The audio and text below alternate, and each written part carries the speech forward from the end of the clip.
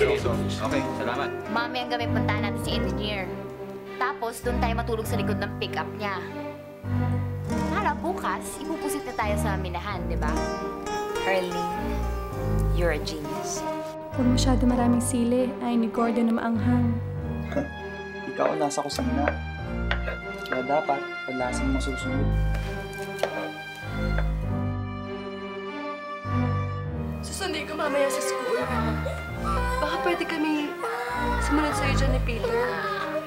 Tama na, Peter! Tama na! May 15 minutes kang para magpipit ng gamit mo. Gordon naman! Wala naman ang ginawa masama sa'yo ah. Sinusunod ko naman lahat ng gusto mo eh. Alis ka na, Abner. Gordon! Papa,